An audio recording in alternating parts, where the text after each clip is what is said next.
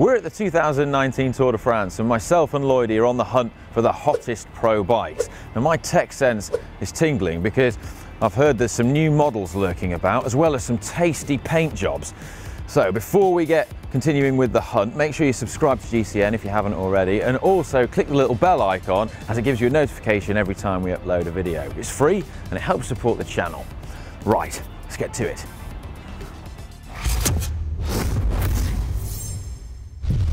We couldn't do a hottest bike list at this year's tour without including this, the brand new Cannondale Super 6 Evo, the new improved aero version of the previous Evo. And this belongs to Rigoberto Uran of the EF Education First team. And it's the first time I've seen this bike in these particular colours. So it's got the EF colours on there with the kind of purple fade paintwork with a bit of little little bit of pink in there as well, which is kind of nice and it goes really well with the tan sidewalls. Now interestingly this bike is available to the EF team in both rim and disc and perhaps even more interesting than that there's been a bit of a split between the riders. They were offered both. Some of the riders, half the team, I think four of them have opted for the disc brake version and the other half of the team said no, I want the rim brake version. So pretty interesting either way as the mechanics reckon they can get both the bikes to the 6.8 kilogram UCI weight limit. This one, I weighed it, it's coming in just over 6.9 kilograms, which I suspect is deliberate just in case the UCI scales are off. But a very hot bike indeed, aero and lightweight. Nice.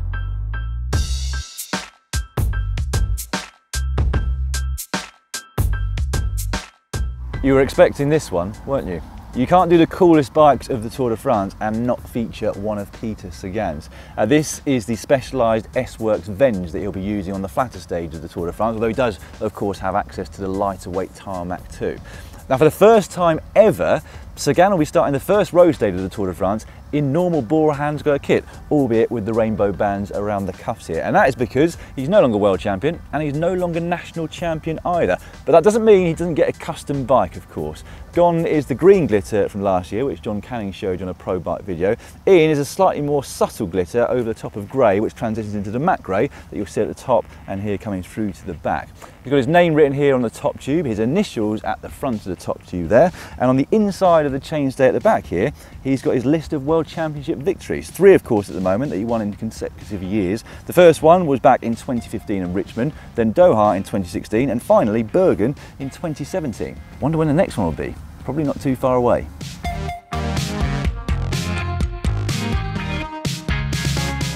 One of the hottest bikes for me at this year's tour is definitely Alejandro Valverde's custom Canyon Ultimate CF SLX. And it's custom because, well, it's painted to celebrate his victory in the UCI World Road Race Championships back in Innsbruck. He's the current world champion, and so we've got rainbow bands on his frame and uh, this beautiful gold on the top tube here. There's a load of other cool rainbow features. So on the wheels, we've got rainbow details. Even on his Fizik Antares saddle, we've got little rainbow bands. But my personal favorite is the rainbow finishing tape on the Lizard Skins bar tape. That is seriously cool. It looks awesome. Also, Valverde is using the uh, same Canyon cockpit with a 120 stem and 41 centimeter bars as me. I mean, I'm, I'm basically Valverde, aren't I? I am almost certain that this is going to be the lightest of all the bikes that we feature in this particular video because currently it's weighing in at 6.66 kilograms, which is well under the UCI's minimum weight limit. It is the brand new Pinarello Dogma F12 X-Lite that belongs to Colombian climbing sensation Egan Bernal of Team Ineos. Pinarello have managed to reduce the weight of this frame set by 60 grams over the standard F12 and that comes down to the fact that they've used T1100G 1K aerospace carbon weave which you can find out all about when I come out with this as a pro bike in a future video.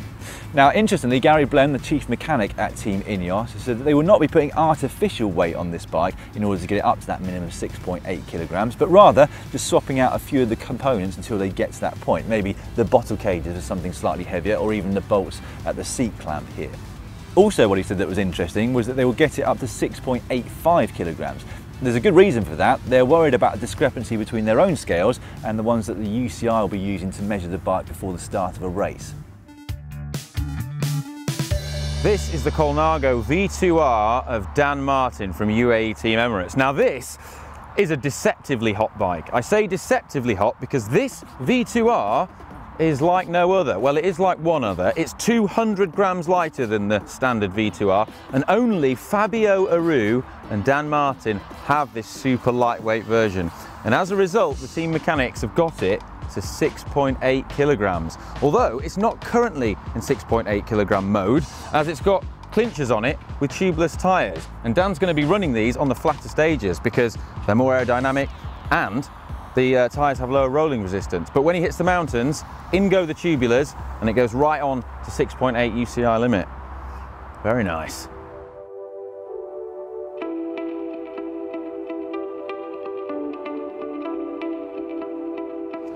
super hot bike. This is the brand new Scott Addict RC of team leader from Mitchelton Scott, Adam Yates. I say brand new because, well, it's literally brand new. He's just got hold of it and he's not actually ridden it or raced on it yet. And it's also the brand new Scott Addict. So the new Scott Addict has had a makeover. Like many of the climbing bikes we're seeing, it's gone aero. So we've got the dropped seat stays, the D-shaped seat posts, the aero tube profiles, and this really swanky looking aero cockpit. And all the cables are fully integrated in here. You just can't spot the cables at all. So you imagine it's very slippery through the wind. And it's gone disc brake only now. The previous one was rim and disc, but now just disc brakes.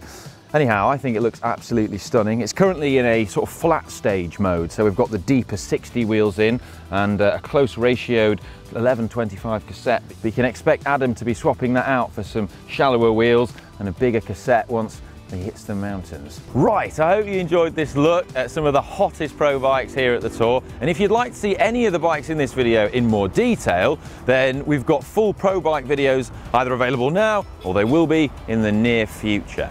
And if you'd like to get your hands on one of these awesome GCN Alpe d'Huez t-shirts, complete with Dutch Corner, there, check it out, then, well, you're in luck. They're available in the GCN shop. You can click down here. Going now. Bye.